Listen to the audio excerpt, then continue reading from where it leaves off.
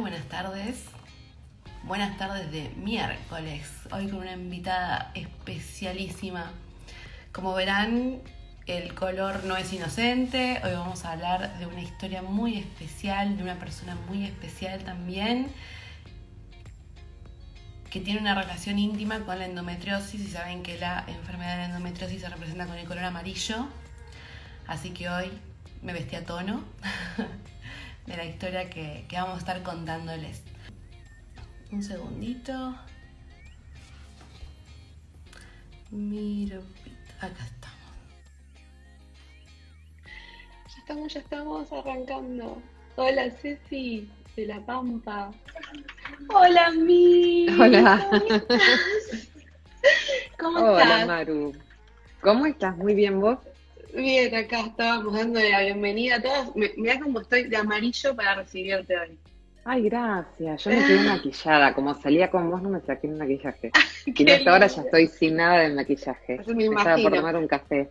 ¿Cómo Igualmente, bien. Eh, O sea, de la cintura para arriba bien y de la cintura para abajo es calza o pijama ya o, Ujú. viste, la, la vida de quédate en casa es un poco Sí. eso, ¿no? estás? Sí, tal cual. Tal cual. Nos lleva a lindo. eso. Pero bueno. Bueno, Mili, en primer lugar agradecerte porque sabemos que los periodistas hoy en día están a fondo, a fondo, bueno, hay como un monotema, sí. este, Es cierto. pero, pero sí, estás, estás a fondo, así que bueno, primero agradecerte un montón que estés acá. Este, y bueno, quería hablar un poco de, de que seas vos esta vez la entrevistada y que seas vos la que cuentes, como ya contaste tantas veces, ¿no? Que tu historia, ¿no? Y quería arrancar eh, por el principio, ¿no? Y Dale. sobre todo con el tema de la endometriosis, y es saber si vos ya la, la habías detectado antes de buscar un embarazo o fue después.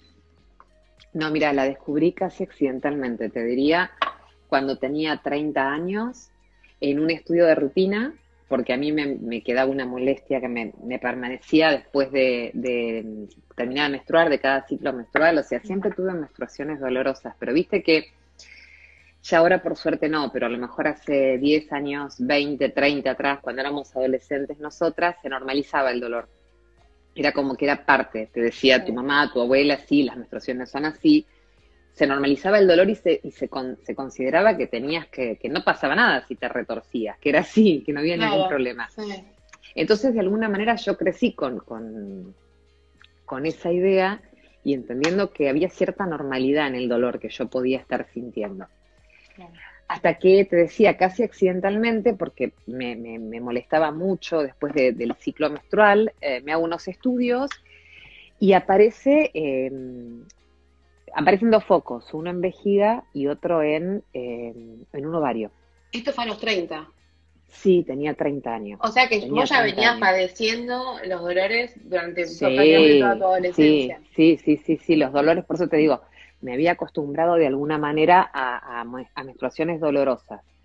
Entonces, bueno, cuando hacemos ese, mm, esa ecografía, en ese momento el doctor Espira, que era mi ginecólogo, es el primero que me habla de eh, la posibilidad de endometriosis, que yo no lo, no era algo que yo tuviese dentro de mi radar, no sabía ni qué era. Pero él lo, lo que hace en ese momento es derivarme a un urólogo porque, eh, digamos, lo relacionaba ese foco en vejiga con el ovario, con el foco que había en ovario. Eran muy chiquititos los dos. Pero bueno, no dejaba de ser un área fuera de su alcance, ¿no? Entonces me, me- me deriva a un urólogo.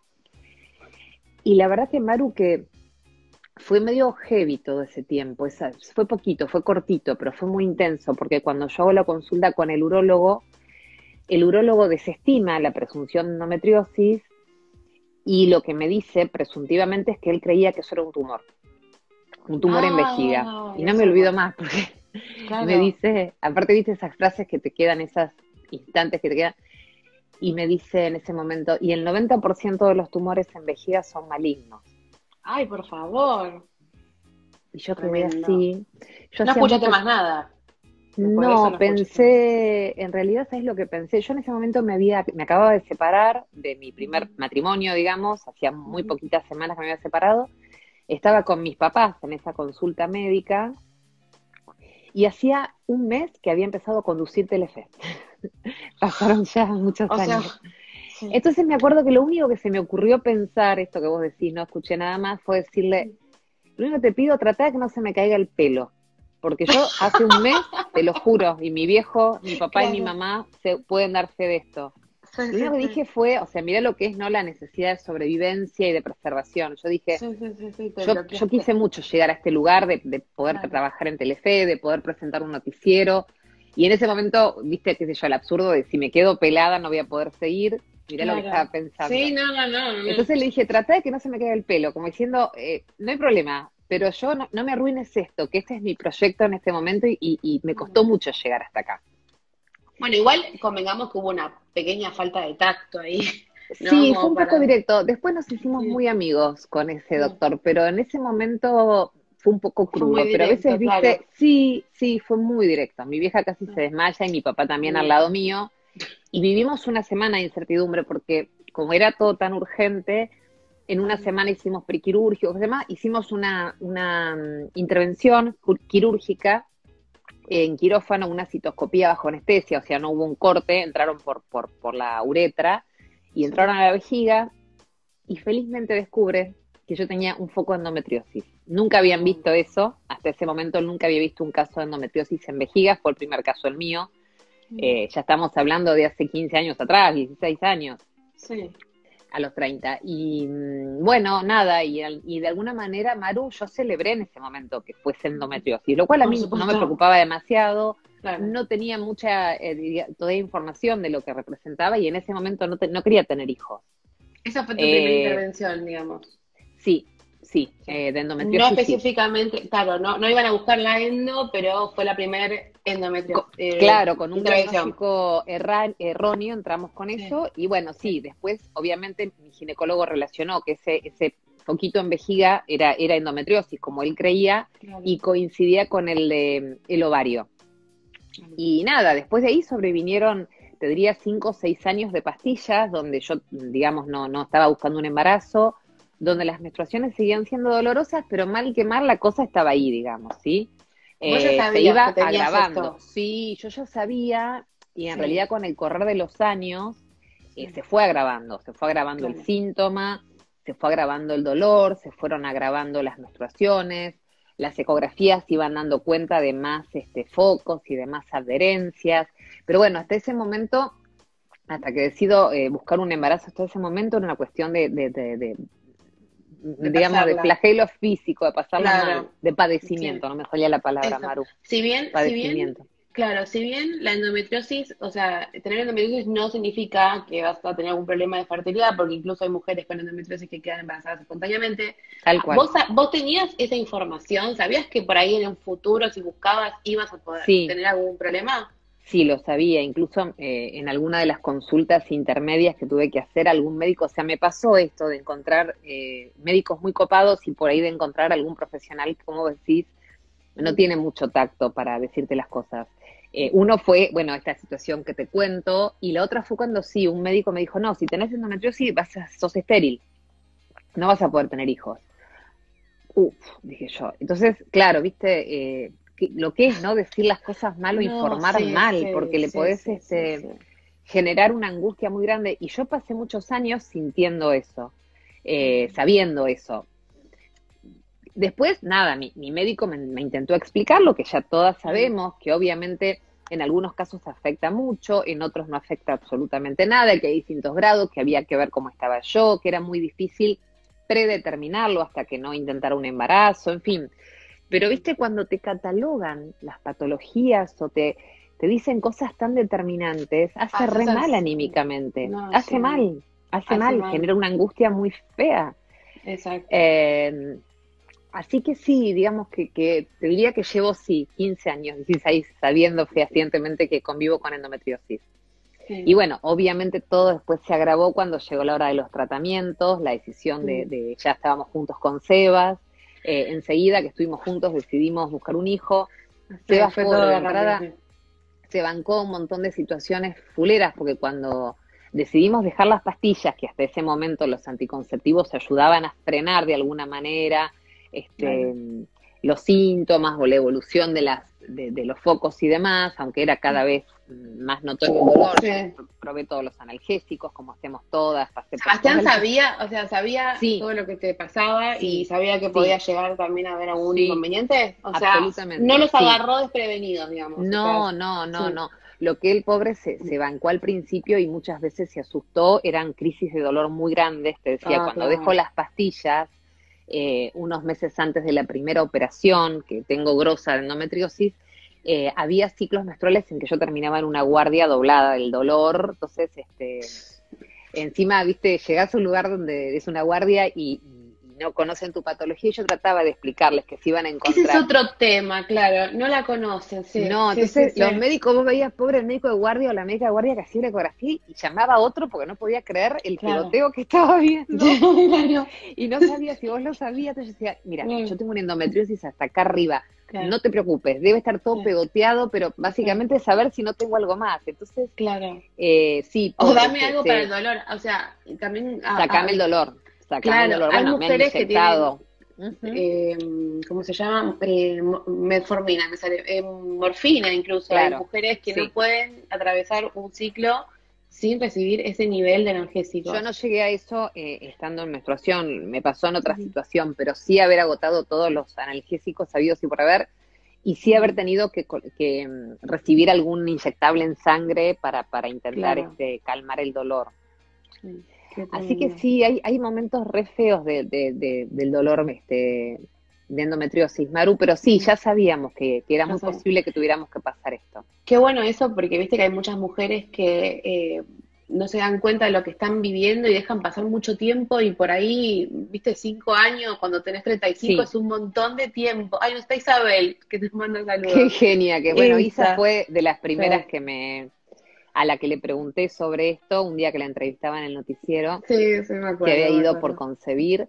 Entonces le dije, Isa, ¿sabes que me hablaron de que tengo endometriosis? Y me acuerdo que me dijo, no te dejes estar. Em, por entonces todavía, pensar que estamos hablando de hace 16 años atrás, eh, el tema del congelamiento de óvulos todavía a mí nadie me lo había dicho, por ejemplo, ¿me entendés? Eh, porque hubiera sido posiblemente una buena solución en ese momento. Si a mí con la información de hoy me pasa eso y yo inmediatamente antes de que se me se me este, apeste todo endometriosis, claro. se me contamine todo, hubiese preservado óvulos y me hubiera ahorrado un montón de líos. Después, pero en ese momento no estaba tan claro el tema. No, igual te digo que hoy en día eh, se está hablando un poco más, pero yo hace no mucho en una charla les pregunté a todas las personas que estábamos ahí, le dije a las mujeres, ¿a cuántas de ustedes sus médicos en una consulta ginecológica de rutina les ha comentado de que la fertilidad tiene fecha de vencimiento. Mm. No levantó nadie la mano. Entonces, bueno, eh, eh, yo creo que ahora con el tema de la comunicación y las redes sociales y todo, se, hay, hay, un poco más de difusión. Pero es como decís vos, antes no había tanta info como hay ahora. No, no, por eso te digo, te estoy hablando de 15 años atrás donde no. Y, bueno, nada, eh, la pasé esos años y, cuando decidimos empezarlos este, a buscar un bebé fue tremendo. Los, dolores, cómo la endometriosis se disparó, los indicadores daban horribles. Y bueno, nos sometimos a la primera operación, gran, gran operación, que empezó la paroscopía y terminó en el mismo momento de la cirugía yendo a una convencional. Este, una operación que iba a durar oh. un ratito, una hora. la que duró cuatro horas. Claro. Habías contado una que había durado un montón de horas. Sí, sí, cuatro o cinco horas. este, Fue como larguísima porque empezaron haciendo el láparo y no, no se dieron cuenta que no, que era mucho más complejo y nada, este, entraron cortando y tratando de limpiar y de reacomodar y de reconchutar. Y de salvar, y de, salvar. Sí, esa, esa, operación fue heavy en la previa, porque yo sabía que podía salir sin nada, Maru. Mm. Sabía que fue lo primero que pregunté. ¿Me sacaron el útero? ¿Tengo útero? Claro, ay, por favor, qué desesperación. y porque yo sabía que, que si, tuviera, si tenía útero podía todavía tener chances de embarazarme con un tratamiento de fertilidad y con óvulos este, donados. Si no tenía el útero perdía todas las chances eh, y dejaron todo, preservaron todo, tanto el doctor en ese momento Espira como el doctor Jolet que me operaron ellos eh, nada, me, me, hicieron un, este, ¿cómo se llama cuando te hacen una restauración? Alineación, eh, balanceo. Sí, Chapo y pintura. kilómetros.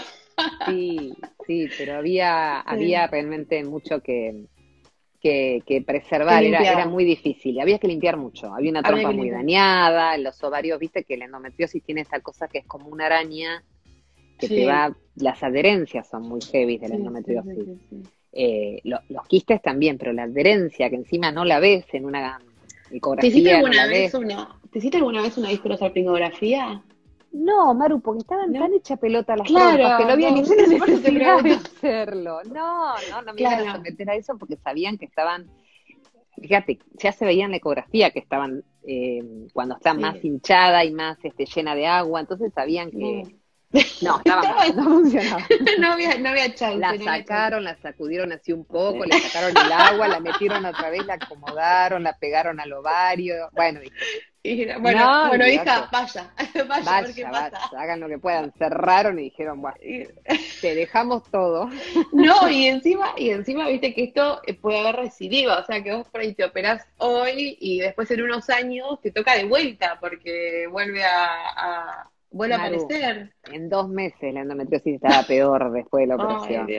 Yo ya no me acuerdo los valores. Claro. Hay datos que se ve que mi memoria anula, pero me acuerdo que había un indicador en análisis de sangre, más Claro. allá de lo que ellos venían en imágenes, que era un indicador de otra cosa en respecto de los ovarios. Nunca me acuerdo, era re importante. Se ve que hay cosas que borré, ¿viste? Que nada, se había triplicado a la al mes de operarnos, a los dos meses, estaba mucho Claro. peor y, y era posible que eso Ujú. pasara. Claro. Mientras yo intentaba un embarazo natural en un periodo que me dieron de dos meses siguientes a la operación, nada, ah, bueno, la cosa confiaban, iba peor. confiaban dos meses. Ellos dijeron probemos, muchas veces resulta Mm, que después de hacer claro. este esta limpieza, por decirlo de alguna manera, Se destapan Eh, las cañerías, tal cual, se destapan y no fue el caso, se No. endemonió, se endemonió, ¿me entendés? Ah. Se endemonió de una manera tremenda. Sí. Esperá que acá Bueno. Sebastián entró a darme una indicación. Ay, ¿Cómo? por favor. Hola, Seba. Que no mueva el teléfono. Que no mueva el teléfono. Me entró a corregir la transmisión. No le muevas el teléfono. me Es un genio, Sebas. Es, es el alma que está atrás, viste, de la cámara. y ahora no mueve. Ahí Sí, está. para después. Ahí está. Sí, sí, totalmente. Sí. Así que Bueno, me quedo qué gran quieta, no muevo más la mano. No. Ahí está. Siempre. Escúchame, Mil. Qué, gran compañero, siempre. qué gran compañero que, que, que él te acompañó, o sea, compañero en, en esta enfermedad y, y en este sueño que de repente proyectaron los dos juntos. Y que bueno, después de esta operación probaron Sí. dos meses y bueno, no, no, no pasó nada. Y ahí no, no resultó. No, no, eso era claro, digamos. Teníamos siempre tuvimos claro cómo seguía el camino, digamos. Eh, en ese momento los médicos nos dijeron, bueno, operamos. Pasamos esa operación que fue así como tremenda. Sí. Eh, fue feo recuperarse de esa cirugía. Esa me costó un montón. Esa me costó mucho físicamente recuperarme y anímicamente. Pero salimos adelante, intentamos dos meses, la cosa se puso muchísimo peor. Y bueno, ese era el plazo que teníamos para directamente int- intentar fertilidad. Ese ¿Qué edad tenías. Yamil, ahí? 36. 36. eh, ya 36 estabas en años. edad de... 35, 36, sí, sí, sí, sí, estaba al límite. Estaba al límite. Sí, sí, sí. Entonces la consigna era esa, si en dos meses no logramos el embarazo natural, nosotros hasta ahí llegamos, fue lo que dijo Espira y Jolet con una honestidad grandísima, porque no siempre encontrás gente así, hasta acá llegamos nosotros. Si no, lo que sigue ya es un tratamiento de fertilidad en algún centro especializado en fertilidad, en fertilización asistida, y bueno, ahí fue cuando caímos a, llegamos a Alitus y ahí empezó otra, otra historia, ¿no? Otra historia. Y ahí Pero ese, arrancaron... ese trance fue heavy, ¿eh? El trance de la operación, sí. yo no suelo hablar mucho de eso, porque siempre voy más allá del tratamiento. Pero esa etapa fue re difícil, fue muy difícil porque los pronósticos eran feos, porque los resultados daban mal, porque Mm. había mucho sufrimiento físico, mucha angustia. Esa época fue bien fulera, bien fulera, sí. Y no te imaginabas que este camino se iba a ser más largo todavía y que iban a aparecer más inyecciones, iban a No. aparecer también otros dolores, ¿no? Otros dolores Sí. nuevos. Sí, Eh, era ¿qué nuevo, es? sí. Bueno, o sea, re- recapitulamos tu historia y creo que todas nos podemos ver identificadas en tu fuerza, porque la verdad hay que tener ovarios para, para poder seguir adelante después. de Los mismos que tuviste vos y que tienen Que tantas mujeres, todas. que tenemos todas y todos Sí. también los que nos, nos embarcamos en esta, en esta travesía, en este deseo de ser padres, a pesar de Sí. todo, ¿no? A pesar de todo. Eh, sí, sí, a pesar Pero para de que no me, la, todo. qui- no me la quiero terminar acá porque quiero saber, ¿empezaron con Sí. baja, baja complejidad o fueron directo No, no alta? tenía chance, Maru, estaba todo tan horrible. no, ya, ninguna chance, no íbamos a perder tiempo con ninguna baja complejidad, porque estaba todo tapado, todo pegoteado, todo adherido. Así que íbamos directo a Ixi sin ningún tipo de escala. Bien, Y además con la característica de, o la condición y la decisión de mi, mi adorado Pascualini eh, de decirme, mira, no te puedo estimular. O sea, tuvimos que hacer ciclos naturales. porque, digamos, claro, Pascua te consideraba, claro, que si a mí me, me, sometían a la estimulación que suelen someter a, una mujer para que genere muchos folículos y puedan este, extraer muchos, y haya una, una sola aspiración, o sea, un solo proceso de estimulación y aspiración, y después van mm. congelando y van utilizando. Bueno, yo no tenía ninguna chance de todo eso. Porque él decía, si yo a vos te estimula, la endometriosis se nos llega hasta acá arriba y, no vamos a poder avanzar. Te sale por las orejas. Se sale por las orejas, se te empieza a teñir el pelo de color. Era un horror. Entonces, era un horror. Sí, pero qué barbaridad. ¿Cómo tanta? bueno, ¿Cómo es que tengo tanta? Tenemos que reírnos porque reírse... Obvio, sí, te rescata siempre. Era, era una cosa espantosa. Entonces, este, había que ir probando con lo que había cada mes. Por eso cada vez que empezamos los cinco intentos que, los cinco intentos que hicimos, empezábamos de cero. Sin estimulación, es cierto, no me tuve que bancar esta cosa que se bancan todas, que es la alteración y estimularse y toda la medicación previa, ¿no? Tal cual. Pero claro, cinco veces me aspiré, Maru, o sea, cinco veces pasé por eso que a mí me, resultaba doloroso por la endometriosis, porque aspirar con endometriosis genera mucho dolor. Y decime, Mil, antes de cada punción, ¿a vos te hacían tipo algún control, alguna laparoscópica? También, o sea, por eso también es parte del tratamiento. O sea, por ahí vos no te pinchaste con tantas hormonas, pero hola, quirófano, cada, tres meses, ¿entendés? Una cosa claro. y te diría, sí, claro, exactamente, era más o menos el promedio en el que entrábamos. Eh, me hacían análisis de sangre claro. y me hacían ecografías. Entonces con eso iban midiendo este, por laboratorio y por imágenes cómo iba la progresión. Sí, mm. entonces entrábamos a la punción, y, era como, viste, una cosa, a veces salíamos hechos pelota, porque a veces no salía nada, no me podían sacar ni un solo óvulo, estaban tan mm. mal y salían, ¿sabes qué imagen tengo? Viste que vos ves la manguerita, no sé si seguirá siendo igual ahora si ya se modernizó. No, ahora, se modernizó, sí. Ahora te duermen cuando, cuando Yo siempre, claro, claro, yo siempre estuve despierta, con lo cual tengo todo, la anestesia local. Entonces vos veías con una manguerita cómo aspiraban literalmente. Esa manguerita tendría que salir transparente. En mi caso salía roja. Roja, roja fuerte, roja oscura, roja borrabino. Claro. Entonces sacaban los óvulos empetrolados, los limpiaban, le tiraban agua, qué sé yo, ¿viste? y me decían, no, no, no lo puedo, están empetrolados, lavalos, les decía yo, lavalos, ponelo en remojo, ablandalos.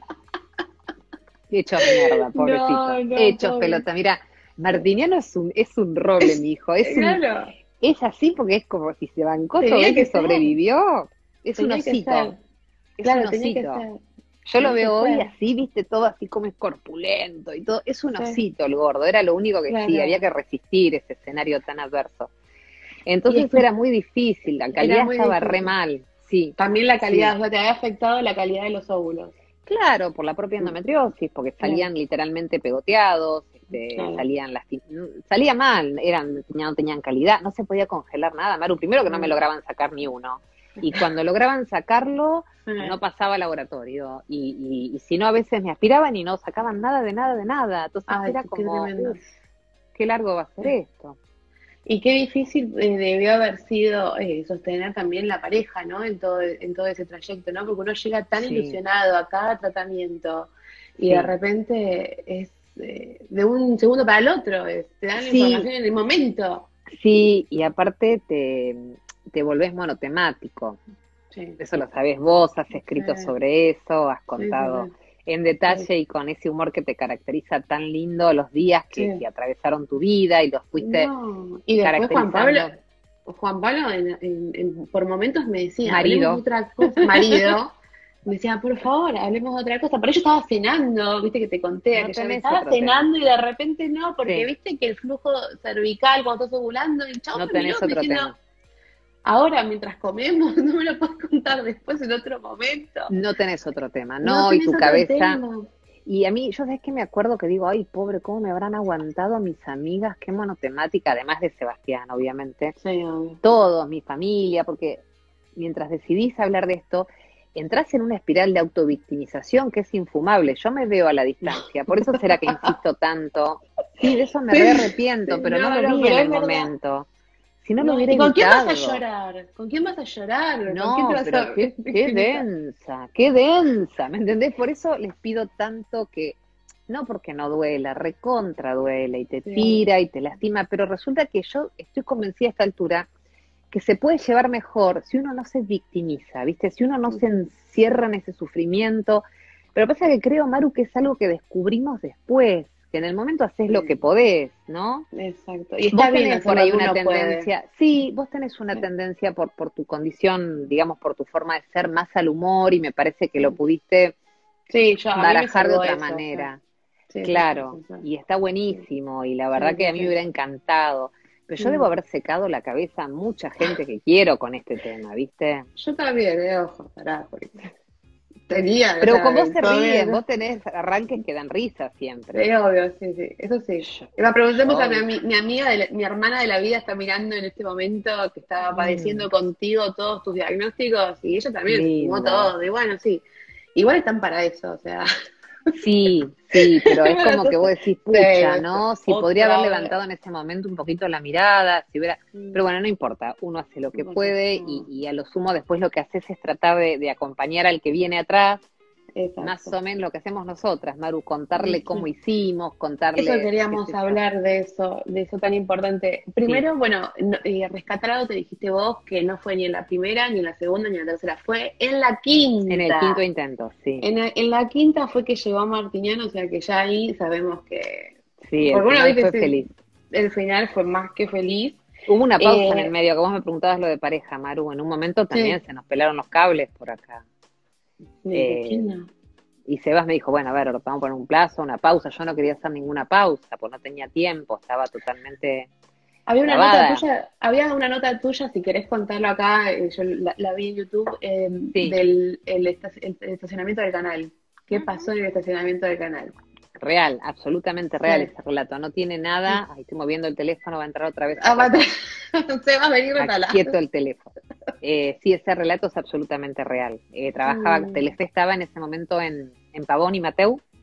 Eh, nosotros nos conocimos en el canal, los dos trabajando, y en ese momento guardábamos los autos a la vuelta, entonces yo me acuerdo que yo no sé si yo me iba y él llegaba, porque teníamos turnos muy distintos de horarios, y tuvimos esa conversación en, la, en ese garage del canal donde él me decía, él creo que venía de la terapeuta, Mm. Eh, sí, creo que venía de psicóloga, entonces me dijo, mira, yo en realidad necesito que hagamos una pausa porque así no vamos a ir a ningún lado, porque nos está haciendo mal, porque de la obsesión no, no va a salir nada, nada, nada bueno y, mm, hablemos de nosotros primero, porque no nos estamos este, llevando bien y nos estamos tratando bien, o sea, no, no estábamos nosotros en un buen momento, estaba, yo estaba trabada con embarazame, embarazame, embarazame, embarazame y se acabó.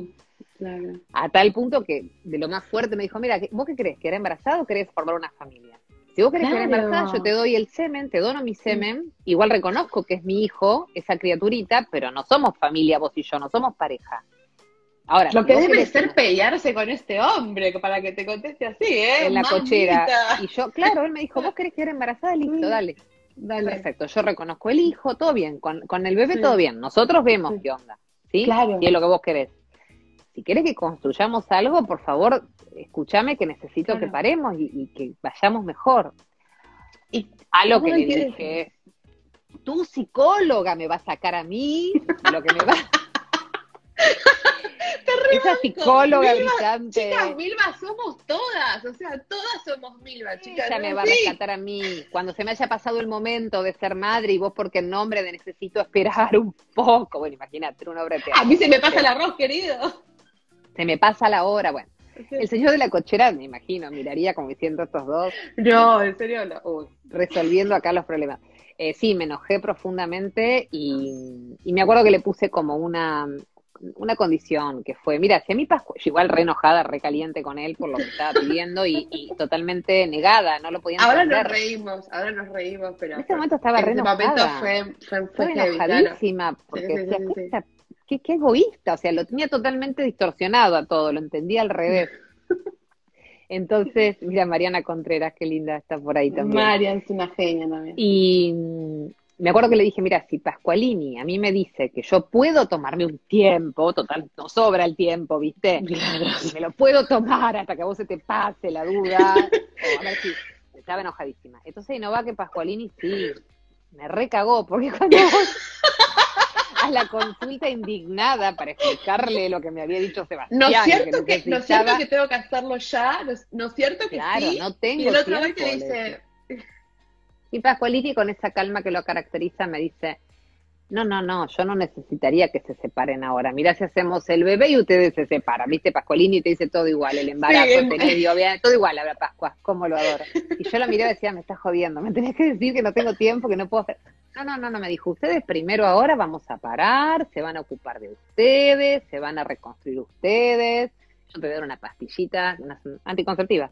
Ah, Para que pensé que- tenemos esto, no, pero no, no, no era para- para la locura, no, no me estaba medicando para los no. No, no, él me O sea, estaba dando, para- dijo, con esto frenamos. un, un clip hago. Yo estoy en esa consulta y a mí el médico me responde así, frente a marido, y lo único que pienso es, ahora salgo de este consultorio y este hijo de puta me va a decir, ah, viste, tenía razón, y eso es peor. Maru, Maru querida, no estaba marido, fui sola, Ah, olvidaste. Sí, no estaba marido, no tuve que pasar ese mal momento. Después se lo tuve Claro, que contar claro. igual, lo tuve que contar. Claro. Fue peor porque tuve que volver a decirle, bien, bueno, Pascualini dijo que podemos hacer una pausa, bueno, en fin. Fue la mejor decisión que tomamos a pesar de mi enojo, el paso de los meses hizo que yo me, se me pasara el enojo y me calmara un poco y Sí. tomáramos como un poco de fuerza para, para lo que era casi la mitad del camino que todavía faltaba. Oh, faltaba un rato, un rato. Sí, ahí, faltaba el cuarto y el quinto. En realidad habíamos hecho tres hasta ese momento. Tres, Claro. tres intentos. Y bueno, rato. Sí, sí. eh, digo, un poco más de la mitad ya habíamos hecho, pero faltaba Sí. todavía para llegar. Eh, Y y ahí- estuvo bueno, estuvo bueno. Sí, bajé un poco. Vos, vos, yo soy muy orgullosa, o sea, yo soy muy orgullosa, Sí, pero me cuesta reconocerlo. Intento, viste, es como mi- minimizar cuando el otro tiene eh, completa razón, que en la mayoría de los casos suele ser así, este, Sí. pero bueno, me hubiese, me hubiese costado, así que bien. a mí también me para costó. Yo, pará, te lo estoy diciendo ahora sí con esta calma. No, no, yo estuve Ah. muchos meses y aparte, ¿sabés qué pensaba? Decía, Sí. a ver, ¿cuándo va a volver? ¿Cuándo se le va a ocurrir volver a hablar del tema? Ah, no, no, no yo no se lo saco ahora. Yo tampoco se lo sacaba, obvio. Claro.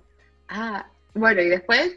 ¿Cuánto tiempo pasó ahí? Seis meses, que me acuerdo que era lo que él había proyectado, una pausa. Y en esa pausa nos mudamos a vivir juntos, porque no vivíamos juntos todavía. Ajá. Este, restauramos nuestro departamento, fue un tiempo lindo, fue un tiempo de... Y apenas nos instalamos me dijo, bueno, ¿querés que volvamos a hablar con Pascua? ¿Te parece ahora? Y sí, ya habían pasado unos seis meses de esa pausa. Vos, vos dijiste, ah, ah, ah, me había olvidado de que este teníamos que hablar con Pascua. Claro, ¿qué- ah, ¿qué era lo que teníamos que hacer? Dale, la otra dale, iba marcando en el calendario día tras día, lo iba tachando. cualquier cosita Sí, sí. lo llamo. Cualquier Claro. cosita lo llamo, dije. Sí, sí, tal cual. Ya habían mandado bueno, WhatsApp ahí. fue. No había WhatsApp todavía en esa época. No había, no había más WhatsApp. Claro, Creo que era mensajito de texto nada más por texto. entonces. No existía todavía. Viste que parece que toda la vida Sí. estuvimos con WhatsApp y no, ¿eh? Y no, no, no, no. Es verdad eso. Mil, y, y bueno, llega, llega el quinto tratamiento y, y ahí aparece el gran video gran que, que, que creo que todo el mundo re- recuerda prácticamente, Lindo. que es cuando te dan la noticia que vos no sabías.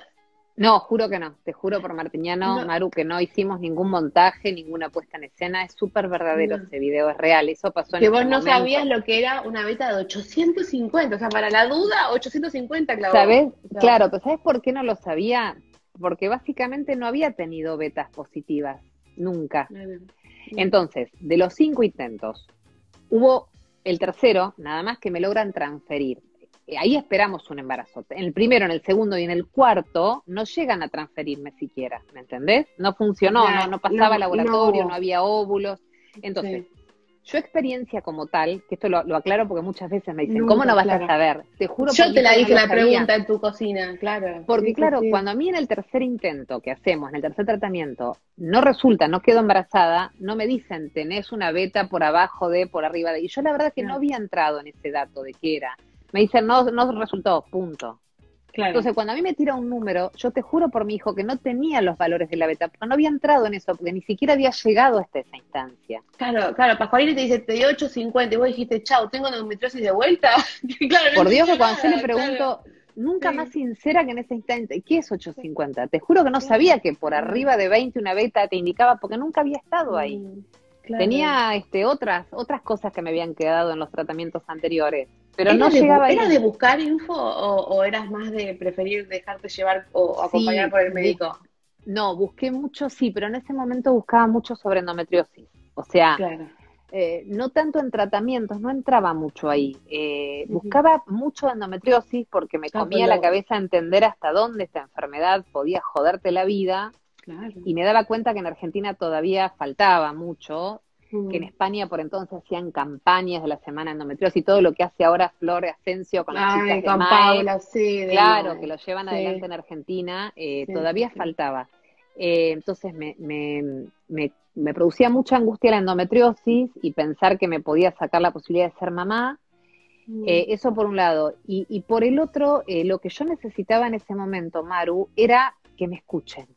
Por eso digo que, que me escuche alguien que le pasó lo mismo. Entonces, mm. por eso digo que mis viernes son una linda revancha que me da la vida. Era lo que íbamos, íbamos a hablar. Yo quería eso, ¿entendés? Yo en ese mm, momento buscaba a alguien que me, que me contara lo mismo, esto que haces vos mm. hoy, que hago yo los viernes, esto que, que, en los últimos años empezó a suceder.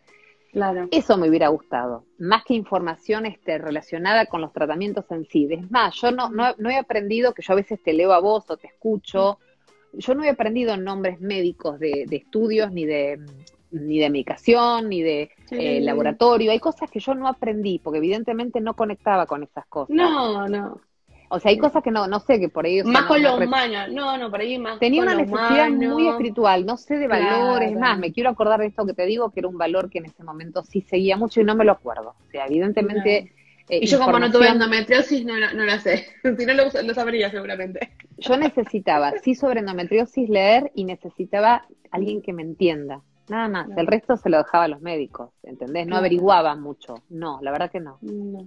¿Cuándo, fue, ¿Cuándo fue? Porque la verdad que eh, una de las cosas que, que, me pasó a mí, o sea, les cuento a, la gente que yo arranqué eh, mi búsqueda a fines del 2011 y, cuando empecé a buscar qué, era lo que, me estaba pasando, qué me estaba costando, todo, eh, unos años más adelante la encuentro a Milva hablando de este tema. Y a mí lo que me acuerdo que me había choqueado era de, de, este tema tan tabú, tan privado, tan a veces juzgado y comentado por el entorno, de repente verlo en la voz de alguien que, que trabaja a través de su propia imagen, o sea, eh, no es un anónimo, o sea, estás en televisión y, y, y haces periodismo. Entonces yo decía, wow, alguien se está haciendo cargo de, esto que a mí me cuesta tanto hablar. Y bueno, fue mi primer approach fue mandarte un mensaje a vos. Es más, yo no sé, cuando fui a tu cocina, me acuerdo de haberlo leído y decía, por Dios, cuántos años que pasaron de esto. ¿Viste? Y, y, qué, y, en qué momento vos sentiste la necesidad de, bueno, yo, estaba, yo me acuerdo las primeras veces que estabas embarazada, pero ¿en qué momento sentiste eh, la necesidad de contarte? O, o, te sentiste segura como para poder contar lo que te estaba pasando.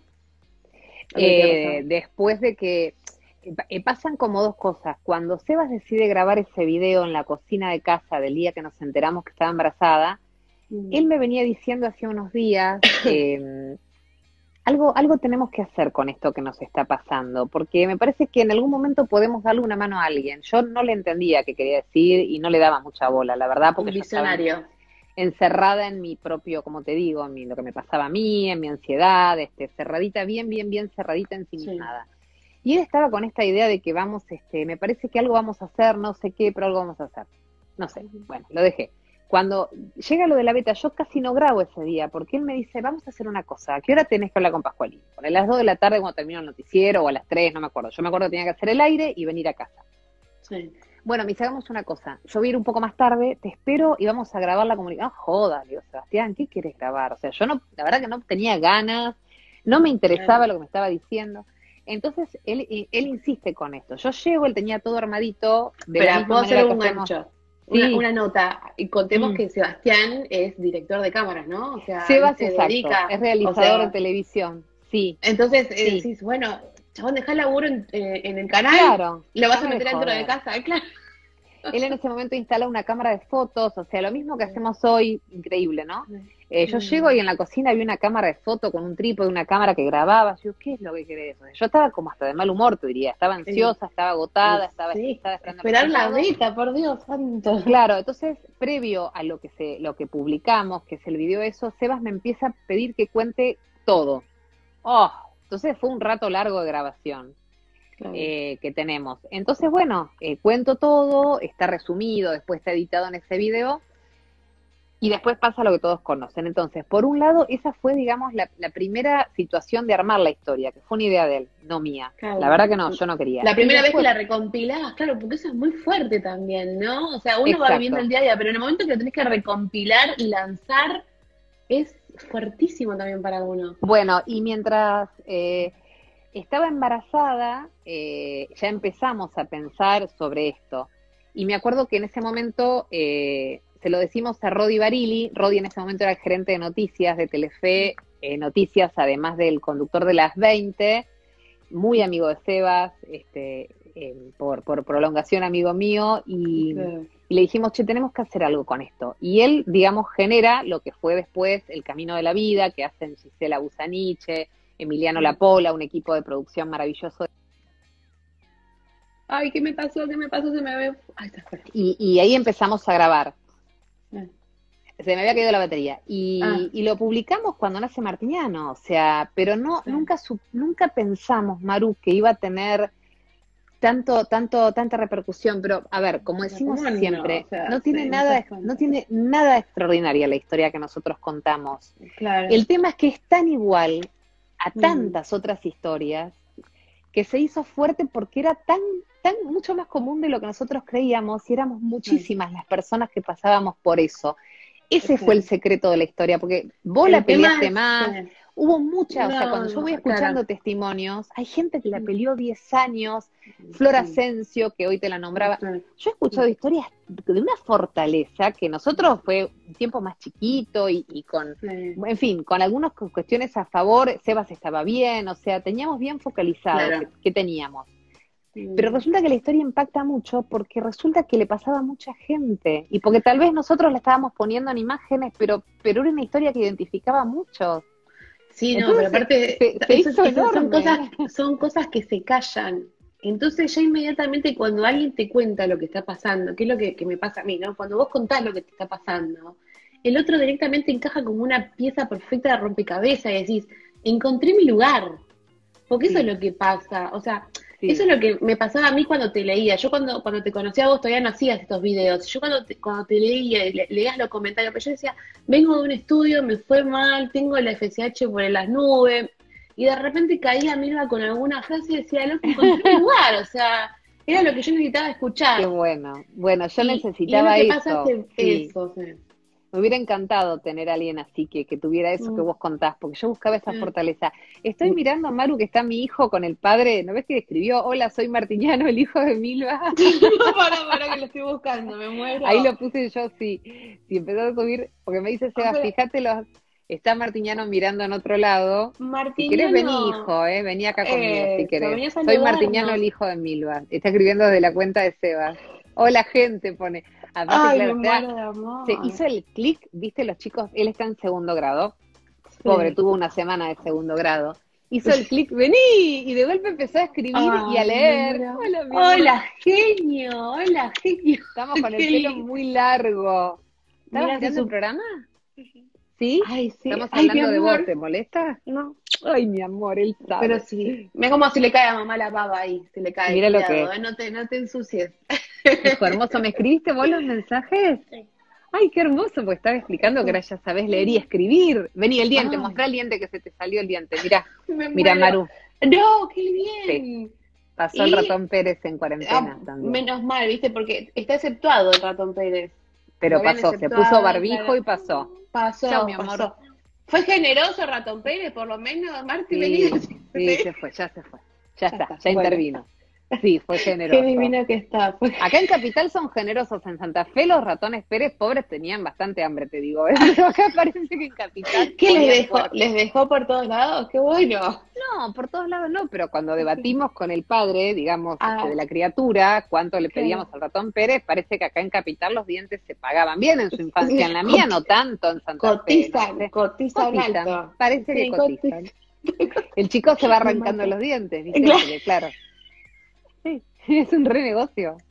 Encima se le cayeron dos seguidos, una semana, uno y a la semana siguiente el de arriba. Pensó que ¿Se eso le era- cayó o se, o se lo...? se los afloja, se los afloja, Claro, pero no, está bien, se le van cayendo. Me muero, Bueno, mirá. Perdón, que te Pasamos de- interrumpí porque... no, porque- pero sí es parte de la, de la vida. O sea, viste, cuando uno no piensa que le va a suceder, que no va a llegar, que va a ser imposible, Lili de repente- dice, yo soy la abuela, está mi mamá también mirándonos. Yo soy la abuela, pone. Sí, Ay, sí, qué sí, grande, no. Qué Está toda tu familia como siempre, que también te banca todos los viernes que, que Sí, totalmente, totalmente, en eso sí. Sí. Qué bueno el apoyo de la familia, ¿no? Ellos, Es ellos muy importante. sabían exactamente. Eh, sabían, sí, sabían que estábamos en tratamiento, sabían que yo tenía una endometriosis horrible, pobre lo que te contaba, mi papá y mi mamá se bancaron ese, ese diagnóstico erróneo al principio de un tumor en la vejiga, Sí, pobre, se- susto que se señora, estábamos hablando, casi se muere, me imagino, cuando le horrible, eso. horrible. Y después, este, eh, sí, sabían de los tratamientos, en un momento hicimos ese, ese silencio del que siempre hablamos, ese ir para adentro para no Mm. tener que explicar tanto, y después nada, rompieron en felicidad con nosotros y, y Martiniano es desde siempre, este, nada, alguien muy especial, este, para toda mi familia lo es, por, por todo lo que lo buscamos, entonces, viste, viste lo que es el gordo así, Eh, sí, una bien fuerza, una polenta. Me, me imagino ese folículo de, ese- de donde El nos- único. el, El uni- último. el único. El único y el último, no había más, ¿Era, el- Maru. era ese o no era? rejuro, era, era Martiniano y nadie más. No Nadie había más. más, ¿eh? Ay, y por se quedó, tuve un embarazo re lindo, fui tan qué- feliz embarazada. El otro día me decía Natalia, mi hermana, en el programa del viernes pasado, me decía, Sí. eh, te vi como en tu mejor estado. Sí, yo fui embarazada, fue uno de los momentos más felices de mi vida y me sentía bárbara, me sentía feliz. Este, Sabes que, que, que, te vi porque quería repasar un poquito tu historia antes de. Hice trabajo periodístico, ¿viste? Sos una genia, consta. veo, te leíste Eh, todo. Me leí todo, este, y, y hay una nota que te hacen en una especie de camarín, que estás con una panzota enorme. Espera, espera, espera Sí, que sí. conecto, espérame. Espérame Sí. porque tengo miedo de quedarme sin batería. A ver. Mirá que no se te vaya mil. No, Igual ya nos queda poquito, no te robamos No, más acá estoy, acá tiempo, estoy. Mil. Ahí conecte, Ahí ahí está. conecte. Acá. Bueno, estabas con una super panza gigante y Sí. estabas sentada súper canchera, así charlando. Y yo digo, hay que conocer la historia. Esa mina sufrió un montón. Por eso lo celebras tanto. Por eso. Maru, después lo disfrutas tanto. Sí, sí, sí. Eh, por sí. eso lo disfrutas. Mira, el otro día le escribía, hablaba con Agustín Pascualini, que fue mi obstetra y es mi ginecólogo actualmente, y le decía, no sé si te lo dije alguna vez, pero yo no sabés lo, que la- lo bien que la pasé en la cesárea, lo bien que la pasé cuando entramos al quirófano, lo bien que la pasé cuando me, me clavaron la peridurал, lo bien que la pasé en ese momento, lo bien que la pasé cuando sentía que me abrías la panza, y lo bien que la pasé cuando me cosiste, y a tal punto que pasaba el médico de guardia y me decía, ¿por qué no tomaste los analgésicos? Porque no me duele nada. Claro, No hables más. Y yo hablaba igual. claro. ¿Entendés no- que nada me podía? No, me- pero no, me dolió nada. No, me dolió nada. No había nada.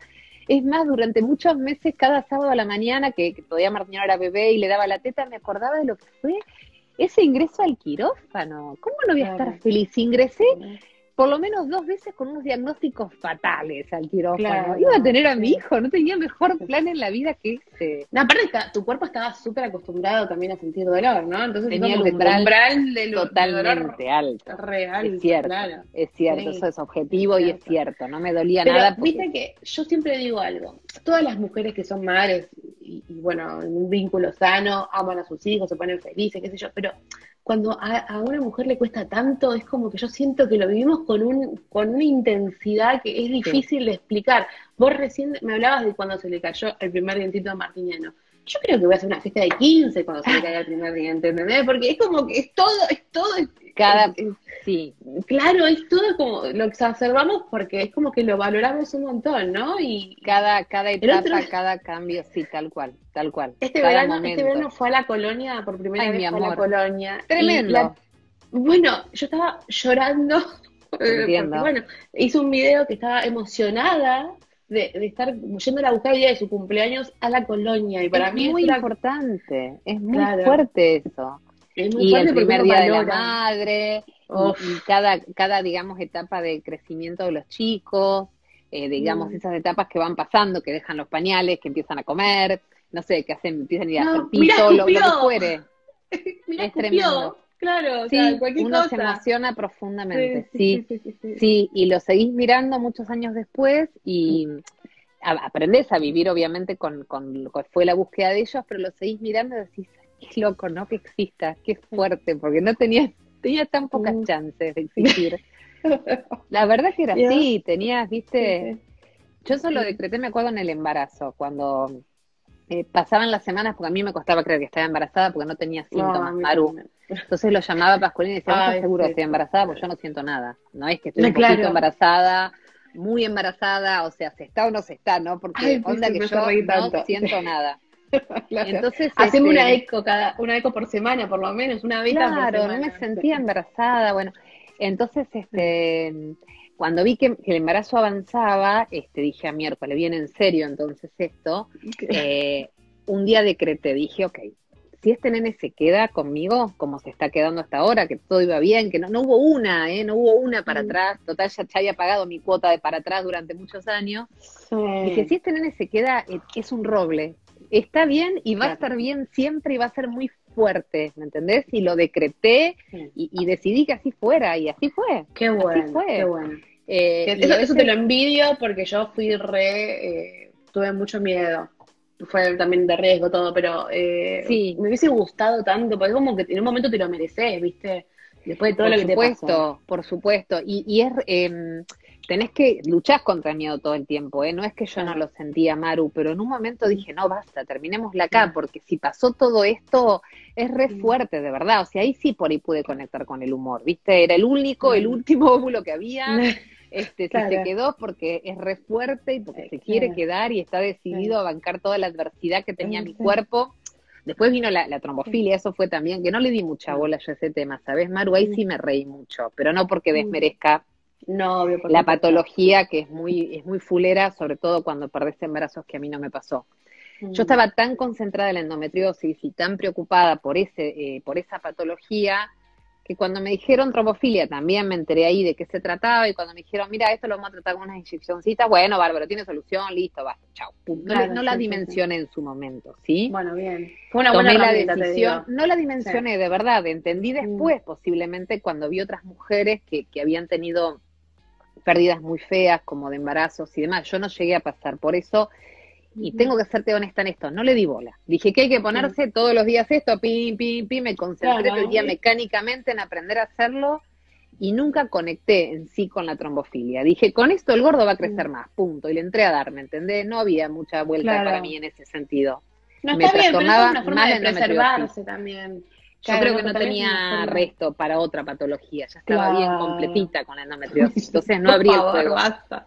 Hice lo que había que hacer, pero no le di entidad, debo decirte Claro, eso, basta, basta. pero fui rigurosa Sí, con, con las inyecciones y con todo, y lo sigo siendo cuando por ahí tenés que viajar, viste, que bueno, ahora no Mm. va a pasar, pero cuando viajas, en mi caso, cuando viajo en avión o más de ocho horas, este, Tenés que la vuelvo, vuelvo a, a conectar, a, a pincharme, sí, es solamente ahí, después vida normal, digamos, pero bueno.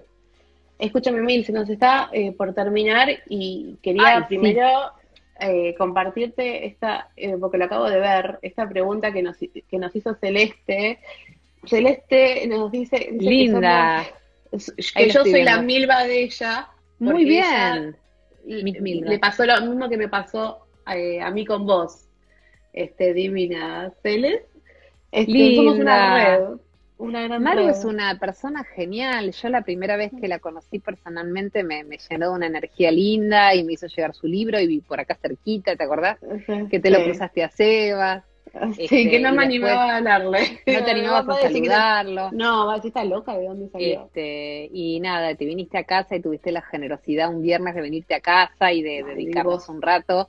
Este, así vos. que nada, me, me, me emociona mucho cuando me encuentro mujeres como vos que, que dan Mm. batalla desde Isabel, que siempre le digo, Isabel, que hacer algo más con lo que nos tocó, hacer algo más con lo que nos tocó sí, Sí, pensamos exactamente igual, Maru, y sentimos lo mismo. Em, pasamos las historias y la pasamos mal y, después nos quedamos de alguna manera para, para ayudar al que viene atrás, ¿sí? Este, Me parece que es una imagen re linda. Y te decía esto, eh, gente como Isabel, mujeres como ella, como, como todo el equipo de Concebir, las fundadoras, ¿no? Estela y demás, que, que, se largaron a la patriada cuando esto era recontra tabú, cuando nadie las escuchaba. Más de 25 años. Sí, más porque hicimos el libro y... A los 20. sí, a los 20 años, exacto, de concebir. Y yo me acuerdo, viste, esas cosas que uno vive en la vida y no se las olvida, la, noche que aprueban la ley en el Congreso, que yo me voy con el gordo para allá, eh, que tenía meses, y salimos en vivo. Bueno, yo no tenía nada que ver con esa lucha porque los que realmente la habían hecho poniéndole el cuerpo durante años eran ellas y ellos, los mm, papás de concebir. Así que es el grupo que merece todo mi, reconocimiento y mi cariño. y después vinimos, también. Sumate, con, por supuesto, con Mariana, o sea, vinimos, pero me refiero generacionalmente, después venimos otro grupo de hombres y mujeres que, seguimos el camino que, empezaron. Y nada, y ayudas mucho, Maru, y, escribiste tu libro, y, el humor es el sello que te marca y que nos hace reír a todos y que nos rescata.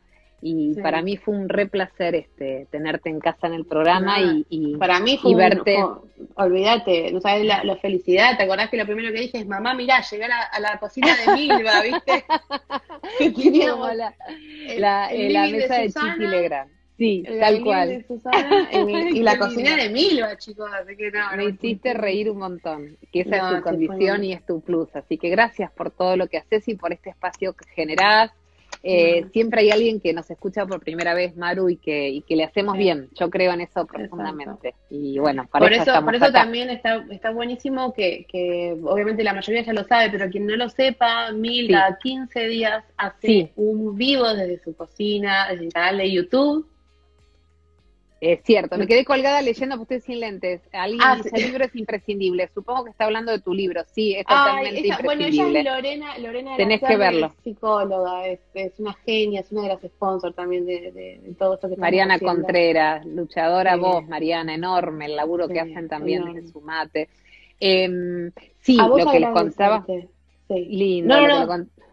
Maru, eso de que sí, los viernes cada 15 días eh, salimos en vivo, como hace, esta es la cuarta temporada ya, eh, nos toca este viernes, no, el otro. Y salimos de la cocina de casa y estamos transmitiendo por YouTube y queda colgado el programa y después este se ve cuando quieran.